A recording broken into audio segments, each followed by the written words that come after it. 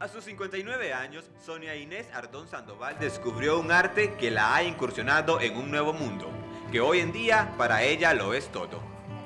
Es una pasión.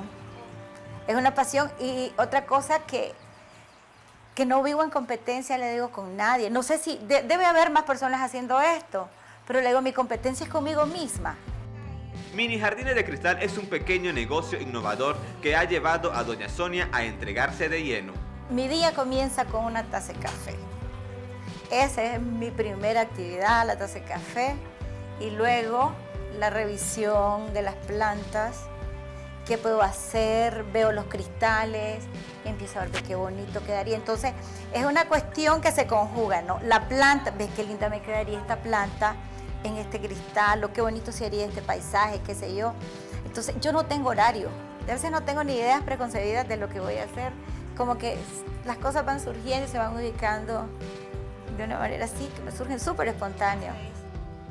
Después de 40 años de vida profesional, hoy su entorno es otro. Entre plantas y cristales administra su propio proyecto.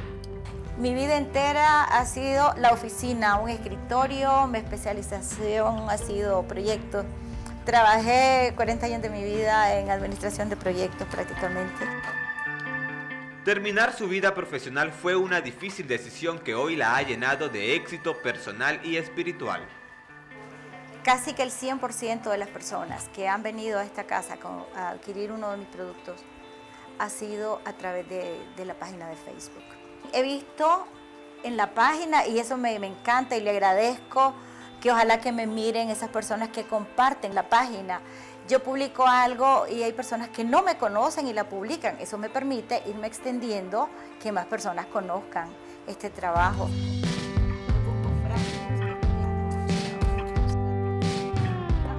A diario va creando diseños únicos que la distinguen y que enamoran a quien la visita. Cada recipiente tiene su propia característica. No puedo estandarizar un producto, no hago nada en serie.